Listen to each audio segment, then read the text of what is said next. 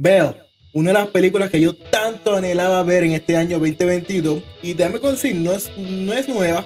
Quiero decir, ella arrancó primero en el Festival de Cananes. Cananes, Cananes.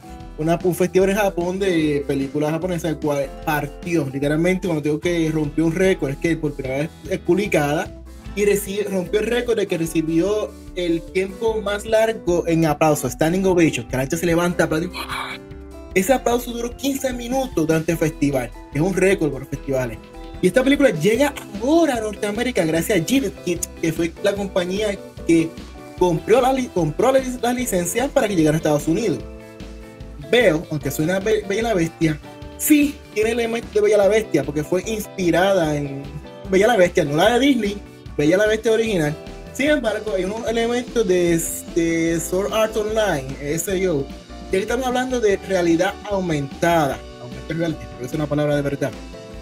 Pero sin embargo, no es el que hemos visto en todas las series de anime en que el personaje está en su camita, se acuesta y despierta en otro mundo.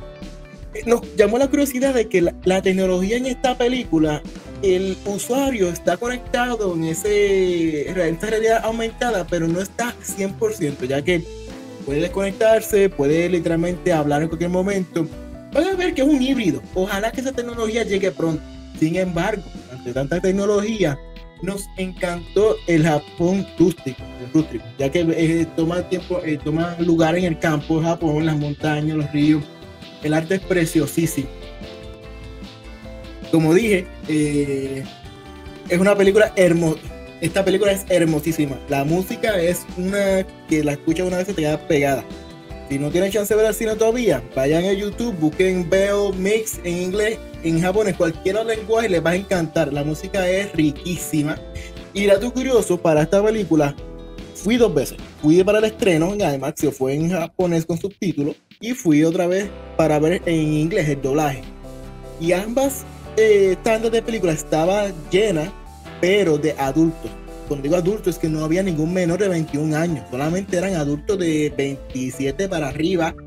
Te estoy hablando que vimos gente hasta 70 años, fila llena, gente de más de 70 años viendo esta película y gente que lloró a lágrimas, porque la película es bien conmovedora, eh, llena de emoción. Y el mensaje principal de esta película no es de que si van a salvar un mundo cibernético, eh, como casi siempre en la serie, es el mensaje de cómo entender el cómo una persona puede darlo todo, hasta la vida, por un extraño. Así que una película que les invito a que, vayan a verla ahora, que está en los cines, si no, pues pronto estará saliendo. GDK tiene la, la, información y vayan a YouTube que tienen toda la música que, que le dan un gusto de qué trata esta película. Oye, Onyx, ¿qué te pareció ese CG? Porque tenían cierto CG dentro de los personajes, que es algo que hay que tener siempre cuidado. Yo lo vi, a mí me parece, como tú dices, muy bonito. Pero, ¿qué te, ¿qué te pareció en todas esas dos veces que la viste? ¿Cómo manejaron el CG? Me gustó, me gustó, fue un CG bastante suave. Eh, muchos criticaron a Attack on Titan cuando Mapa lo tomó por, primera vez, ya que le metieron mucho CG.